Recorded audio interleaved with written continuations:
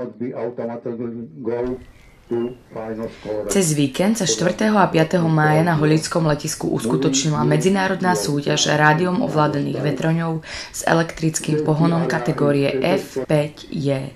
Súťaž pripravili členovia leteckého modelárskeho klubu Holíč pod vedením jeho predsedu Petra Karnoša. Súťažiacim cez víkend prijalo počasie.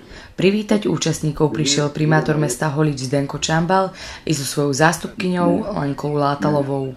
Žiadne Vážené dámy, páni, priaznici modelárskeho športu, teší ma, že vás je tu čosi viacej ako minulý rok, takže som presvedčený, že nielen to dobré počasie, ale aj vaše výkony prispejú k nádnemu priebehu dnešnej a zajtrajšej súťaže. Držím vám palce, nech si tie pekné poháre odnesú tí najlepší a pevne verím, že Holíč bude v tom vašom registri podujatí mať trvalé miesto. Želám všetkým úspešný letecký deň. Vetrone v rozpetí do 4 metrov sú do 30 sekúnd poháňané elektromotorom. Následne už museli piloti vyhľadávať stúpavé termické prúdy, ktoré im umožňujú vznášať sa vo vzduchu. Dôležitým prvkom je rovnako pristávanie.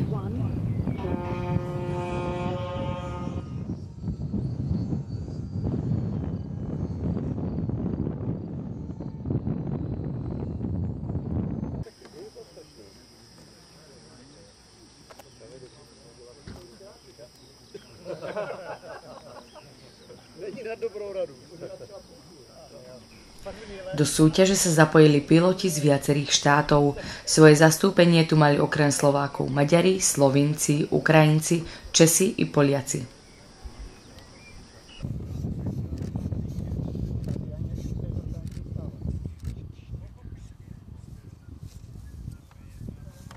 time in five seconds. Four, three, two, v nedelu sa uskutočnili finálne kolá a následné vyhodnotenie súťaže. Najviac sa darilo účastníkom z Českej republiky.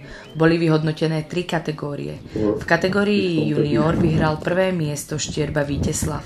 V kategórii 65 plus prvenstvo získal Jaroslav Imiolek a v kategórii senior sa víťazom stal Radek Malčík. Víťazom srdečne blahoželáme.